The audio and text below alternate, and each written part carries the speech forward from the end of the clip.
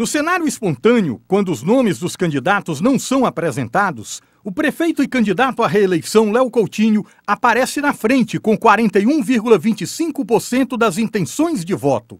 Em seguida, vem o candidato Fábio Gentil, com 29% da preferência dos entrevistados. Não sabe, não opina, somam 24,25%.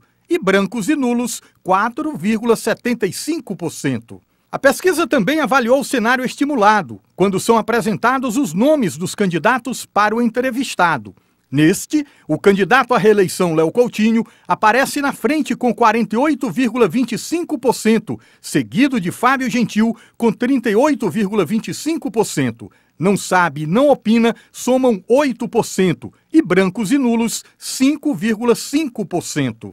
Os números do amostragem também avaliaram rejeição dos candidatos a prefeito de Caxias. O candidato Fábio Gentil apareceu como o mais rejeitado pelos entrevistados, somando 39% de rejeição. Léo Coutinho ficou com 29,75%.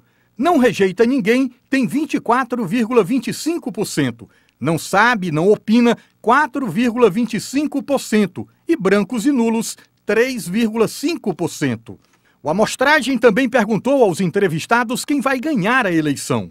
A maioria, 60% dos entrevistados, acredita na vitória do candidato Léo Coutinho, seguido de 18,5% dos que creem na vitória do candidato das oposições, Fábio Gentil. Não sabe, não opina, chega a 21,5%.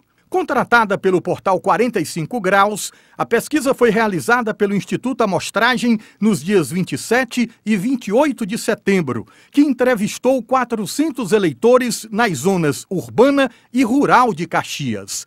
A margem de erro da pesquisa é de 4,8 pontos percentuais para mais ou para menos. O levantamento está registrado no TSE sob o protocolo MA 01953-2016.